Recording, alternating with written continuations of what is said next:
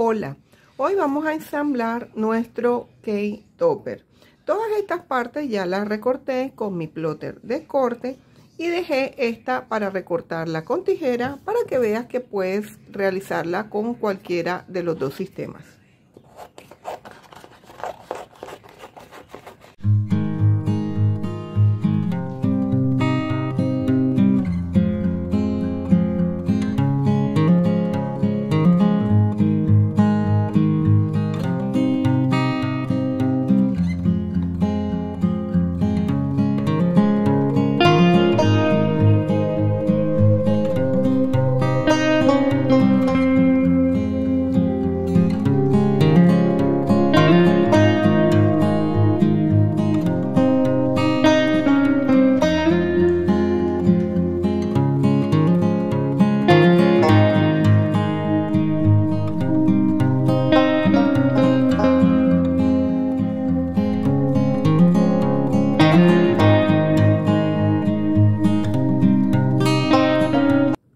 Repujador marcamos sobre el acetato y vamos a recortar.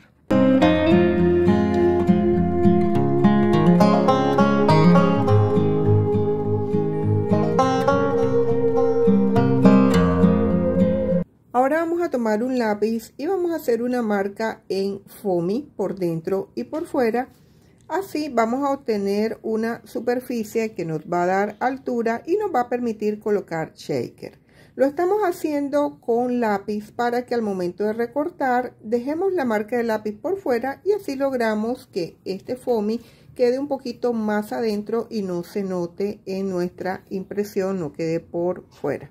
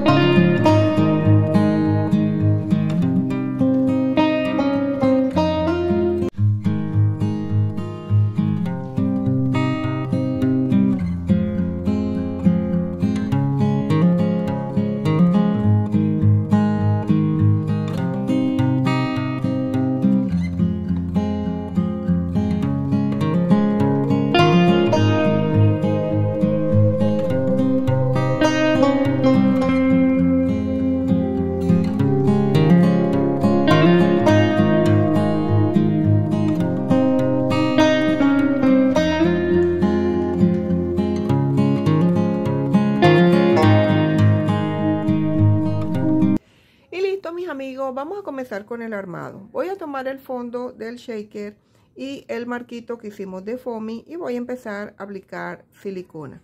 Recuerda hacer movimientos de atrás hacia adelante para que no quede ningún espacio sin cubrir para que no se vaya a escapar por ahí nuestro shaker o nuestras piedrecitas.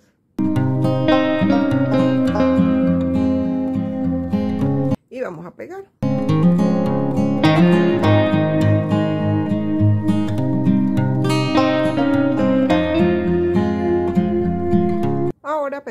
Nuestra segunda capa de goma eva.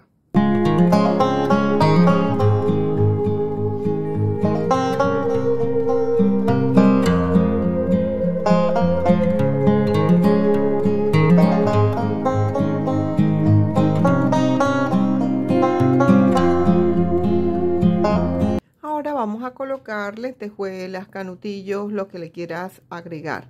Puede ser también escarcha gran formato.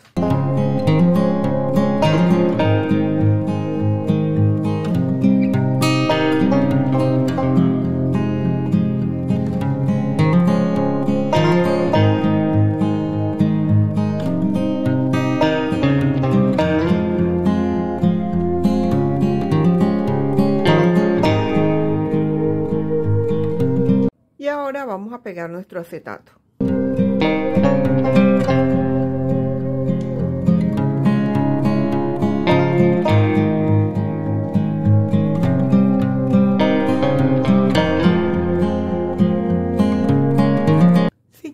Lo puedes lavar y secar si deseas que no se le adhieran las escarchas de mediano diámetro.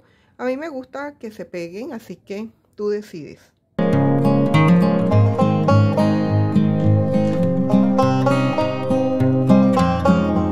Y ahora vamos a pegar nuestro marquito impreso.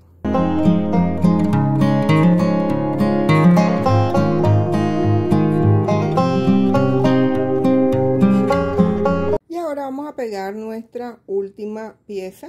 Vamos a utilizar silicona en un envase punta de aguja para que no se desborde la silicona.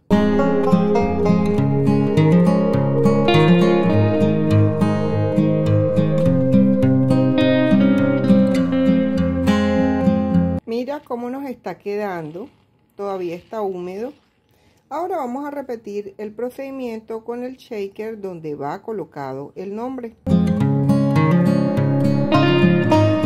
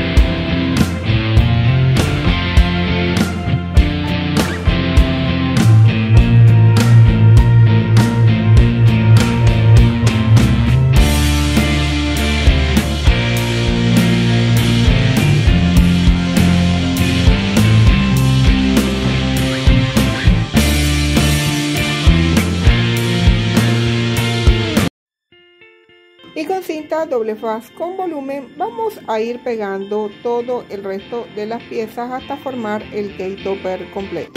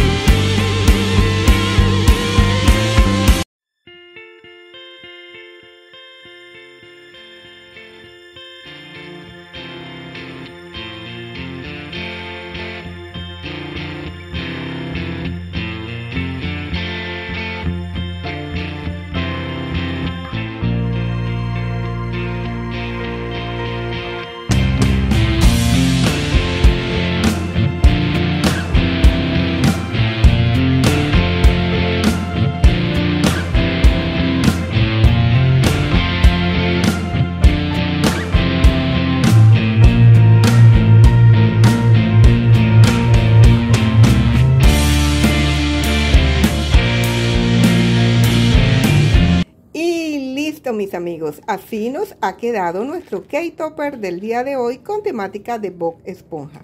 Si este tipo de videos es de tu agrado, por favor suscríbete a mi canal, regálame un inmenso like que eso me ayuda muchísimo a crecer.